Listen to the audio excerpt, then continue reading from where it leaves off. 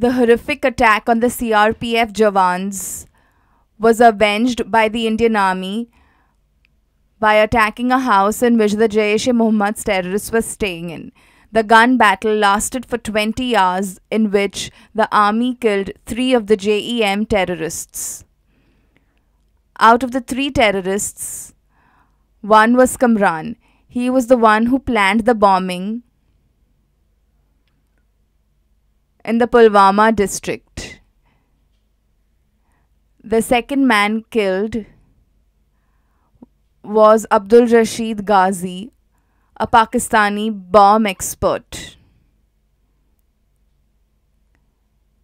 The third man was eh, Hilal Ahmad, a local boy who was part of the JEM.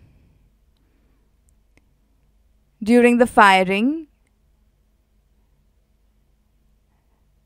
several youth from the area rushed to the spot and started throwing stones at the military to help the terrorists escape.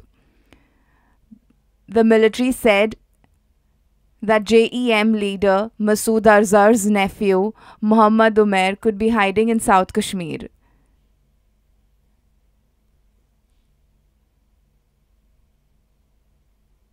The Indian military was successful in killing three important terrorists, but they were sad at the deaths of six of their men.